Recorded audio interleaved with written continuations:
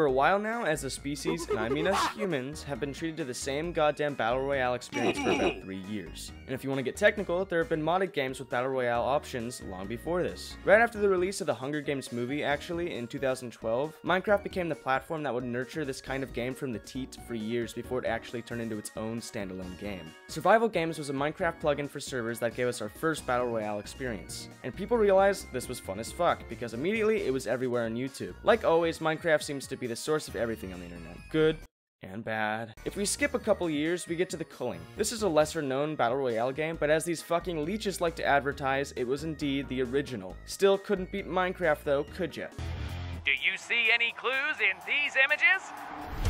Yeah, this died within the first two days. In all fairness, the first one did okay, but trying to sell your game with the title original came off as pretentious, and that's why I didn't buy it. Another reason it most likely failed was because the second game was released during the prime of two major Battle Royale games. June 12th, 2018. A day all pedophiles will remember as a new way to get kids into their vans. Fortnite was released and V-Bucks could get kids into their vans all day long. This along with PUBG gave the Culling 2 absolutely no chance, especially considering it was generic as an apple pie. And well, you probably know the rest. I don't want to go through the whole history of Battle Royales, but obviously Apex Legends, Ring of Elysium, Black Ops 4, Blackout Battle Royale, Modern Warfare's Warzone, and Hyperscape. What do all of these games have in common? They all try to add their own little twist to the genre and end up making the same game with the same player base. Our game has a grappling hook. Well, our game also has a grappling hook. Oh, boys! Look over here, our game has a grappling hook. Mm. I think the game that had the best chance of taking down Fortnite was Apex Legends. However, looking at the top streamed games on Twitch, it clearly couldn't keep up. The only Battle Royale game I ever had any fun in besides Fortnite was Apex Legends, and it simply couldn't compete. Then came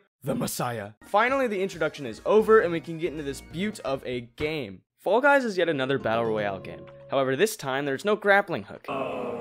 Unlike every other Battle Royale game, there isn't a weapon in sight, unless you count your greasy paws. This is basically a Mario Party Battle Royale game. There are three moves in your arsenal, move, lunge, and grab. You use these moves to the absolute breaking point through 24 minigames, four of which are final minigames. The game starts with 60 disgusting other people, and your goal is to win each round and watch others suffer immeasurable embarrassment as they are knocked into the slime. Each round, more people are eliminated, and to be the final guy is only spoken of in tall tales. There are many things this game does right. Most Battle Royale games try to activate your testosterone with gritty men using massive weapons. Fall Guys doesn't try to be most Battle Royale games. It tries to be the Nickelodeon game show of your dreams and succeeds in almost every way. The art style reflects this. It almost looks like a Nintendo game with the amount of colors you're instantly serenaded with. And the music is as gorgeous as it is repetitive. Now that that's out of the way, the gameplay is something of a human fall flat experience along with 60 other people. The physics are so wonky that you can either get extremely mad or realize it's all luck and not get mad at all. I tend to get mad. Shit, come on!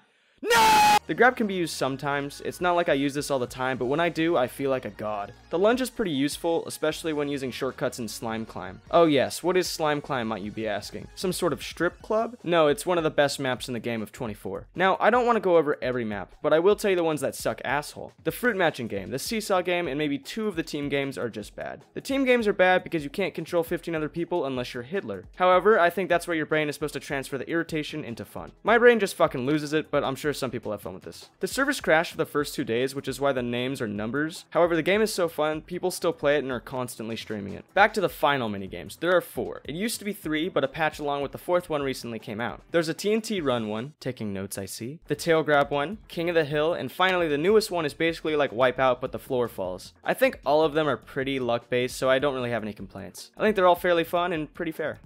In Fortnite, you can dress as Le Epic John Wick. In this game, you can dress as Scout from TF2. You tell me what's more badass. The Battle Pass is free for now, I guess, but that's pretty cool. All of the outfits are satisfying to work for and look pretty good. There are two currencies, crowns and kudos. Crowns are drastically harder to get, but are used for legendary skins. Kudos are basically just for the epic items and below. Fall Guys is genius because it completely flips the genre on its head and makes you reconsider what a battle royale game can be. I haven't had this much fun with a game for at least two years. It's sad, but it's true. Something is really cool about being back into a battle royale game, and it actually being popular again. It gave the gaming industry a burst of creativity I also haven't seen in years. I'm extremely excited to see the future of Fall Guys and battle royales in general, with Fall Guys as their king.